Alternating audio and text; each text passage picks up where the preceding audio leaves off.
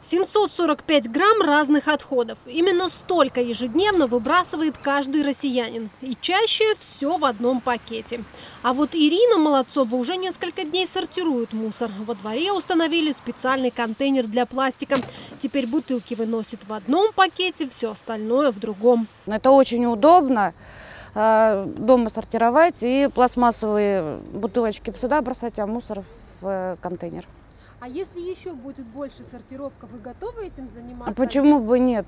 Конечно, готовы. Это экологически почище будет, и в городе чище будет. Конечно, готовы. А вот сосед Ирины пока не готов сортировать мусор и выносит его по старинке в одном мешке. Видели, что Скажу. контейнер у вас Всё. стоит для сортировки мусора? Да, видел.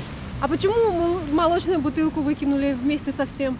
Ну, потому что у нас привычки такие. В городе неделю назад в рамках пилотного проекта установили 10 контейнеров для пластика. И за это время еще ни один не вывезли.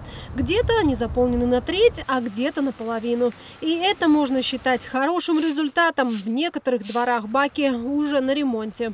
У нас первую же ночь произошли целый ряд вандальных действий в отношении данных контейнеров. Ну, не без этого. Да, они уносят колеса, они опрокидывают контейнера, отрывают таблички, откручивают колеса, засовывают туда э, не то, что должно там находиться.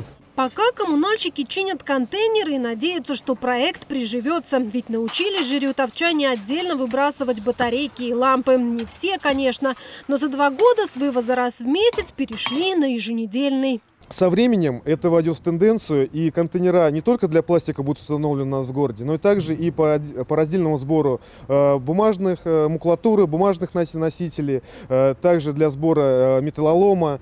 Э, то есть, в принципе, с чего-то нужно было начинать.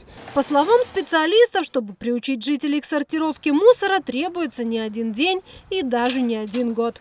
Германии потребовалось 10 лет на переход к раздельному сбору мусора. В Польше времени ушло меньше, правда. Там ввели повышенный тариф на вывоз общего мусора.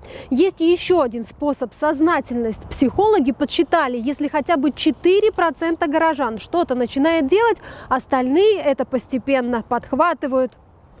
Дарья Макаровская, Алексей Золотарев для РТВ.